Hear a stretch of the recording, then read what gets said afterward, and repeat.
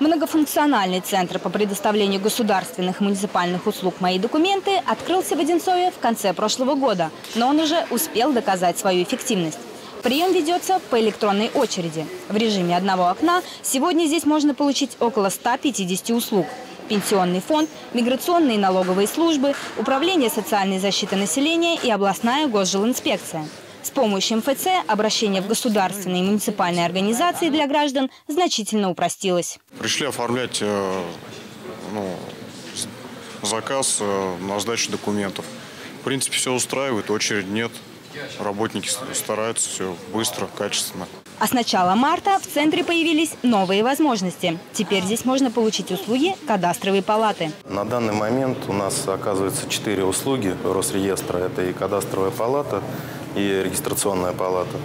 Вот. Со 2 марта э, у нас э, принимаются в полном объеме э, все, что касается кадастрового учета. Изменилось также время работы центра. Теперь прием здесь проходит до 20.00.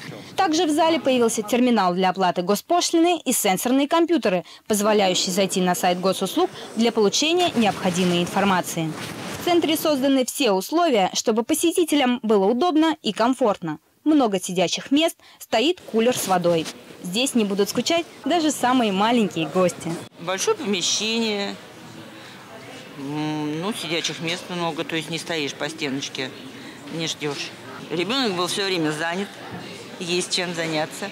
Работа центра хорошо налажена. По любым вопросам за разъяснениями можно обратиться на ресепшн. Сотрудников отличает отзывчивость и профессионализм. Я работаю на приеме документов. Работа очень хорошая, она мне нравится. Я считаю, что это правильное было решение создать в Одинцовском районе такой МФЦ, потому что множество организаций, разбросанные они, естественно, по городу.